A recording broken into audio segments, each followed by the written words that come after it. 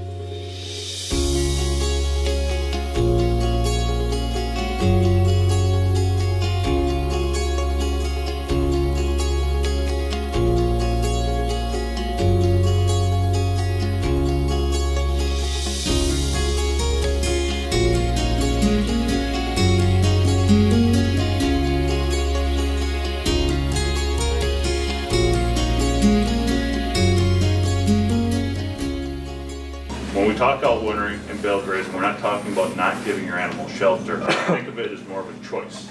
If you've got the bales out in the field and they've got the windbreak back here, let them go out there. Keep the manure out there, keep the urine out there. That's stuff that you don't have to spread, you don't have to manage. The cows are doing it all for you, plus they're eating.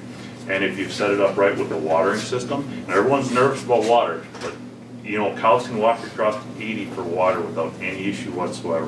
They can go further, but typically, we're looking at 80 acres is about as far as I've been telling people I'm walking. You know, these animals, they're out there, they're out wintering, they are staying warm through metabolizing food. So when you do out winter, you want a good feed, you want to have enough forage in there that they can eat it, but you also want to make sure that it's not so good that they're losing weight as well. And that type of feed also will make them eat it. If you give them straw, you're gonna be dealing with a lot of waste in the springtime too, so. The one thing that you don't get when you put those cows on a lot is the urine. So now we've planned this out. We've got the grass out there, we've got the hay out there, you're getting manure, you're getting the urine. And because we've taken a look at what we call resource concerns, we're not losing that manure, we're not losing that urine. And as long as you keep that out there, that's real benefit to you as a producer next year. So we start talking about your biggest cost, or winter feed costs, and also death loss. We've already impacted your winter feed costs, because part of that winter feed cost is hauling the manure, getting the manure out there, doing the feed. We've cut that down drastically. We're not talking about hundreds, we're talking about thousands of dollars in general. Um, that was two years ago, but that Timothy there is as tall as my shoulders. Now, there's another, the field down in the bottom flat here, just that we grazed. We, um, we never put any fertilizer on of it. That was just grazed. Um, there have been two winters, two summers ago. Two summers ago, we came in, we grazed that field right away in the spring, grazed it, waited, we cut it. That hay was that tall and thick. Let it, we grazed other places, cut it a second time, those two cuttings, and then I came back in September or October, grazed that field again. So I grazed it twice, cut it twice, and I had so many people, what are you going to do with all that hay? I'll buy that hay off of you. Um, we had 7.2 ton per acre on that hay, and it wasn't bad hay because, like I said, we got alfalfa clovers, and we cut it the way my dad used to cut it back when I was knee high to a grasshopper.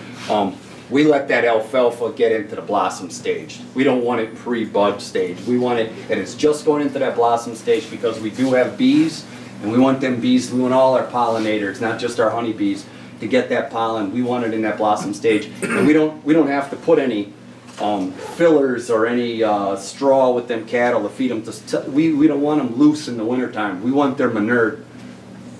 We don't want that feed just running right through them. So That's grazing it, getting all that manure, nutrients in there, mob grazing it, we we had so, a lot of good hay and, and plenty of it.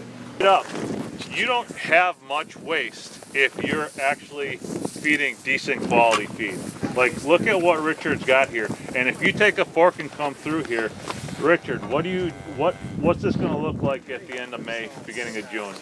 Once it gets nice out here and we got the cows over there and we start, we'll bring those chicken tractor up in here and they'll start scratching this all out and it'll be all, they'll eat all this leftover. Just here, these bales here that are right in here were actually from two years ago, so there's a little bit more that's rotten on the bottom.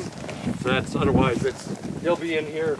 These couple of tamer ones be in here trying to get all that chaff out, but this will all be, you could come in like at this end of the field now that it's cold and and we're doing it without the mud, this end you wouldn't have to work up at all. You just run the no-till planter in here.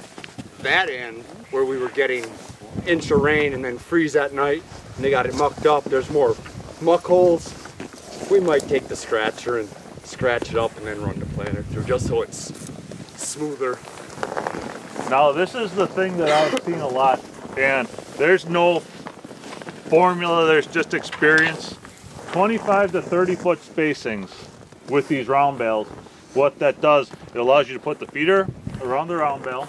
It allows a cow to be out there, have her butt sticking out, and then the other cow's butt sticking out, and there's plenty of room for another cow to walk through there. The other thing that happens too, ah. if you go much further than that, you start to get areas where you don't get manure coverage. Look at what we've done here. Look at what Richard's done here. We have got a lot of manure here and we're strategic about, he's being very strategic about how he's doing this. This is gonna be moved the next year. The nutrient management, the, the soil health benefits, the plant benefits, this is, this is a really big deal. And what's fun about this is, so you're gonna probably lose a little production in May, maybe, depending on the year. But this, if you come here in August, this is going to be the greenest field on this property. And for the next seven, eight years, this field is going to be producing at a very high rate with nothing but thinking about how you managed it. So there's some really cool things too about out wintering versus buying hay. And I worked with an extension agent and we did some backwards math. And basically, if you can buy hay for less than $100 a ton, you can't afford not to because the NP and K is worth it for you to put out here. So if you push it a little bit or if you buy a little bit of hay, don't think of it as lost unless you're just feeding it on one pile and letting it sit there. If you're feeding it on one pile and letting it sit there, you're not getting that nutrient without hauling it out there. But if you put it out there, now the cows are spreading it, they're eating, they're doing all the work for you with very little input. So now we've looked at the winter spreading maps, so we know that we're in a safe area for winter spreading. But what you didn't see too as part of the grazing plan that I helped and we looked at with Richard, we've got a two to 300 foot grass buffer that we're staying away from that. So what Richard's doing with his nutrient management here is way less or way more than what it like not only do we have all that soil and the organic matter that we were talking about before but we're keeping that buffer that undisturbed area. We're not putting any any well, I shouldn't say we Richard's not putting any nutrients or putting any of these bales in any of those sensitive areas but in addition to that he's got that wider buffer there to really protect those. And there's a lot to be said for the water quality that you get out of that so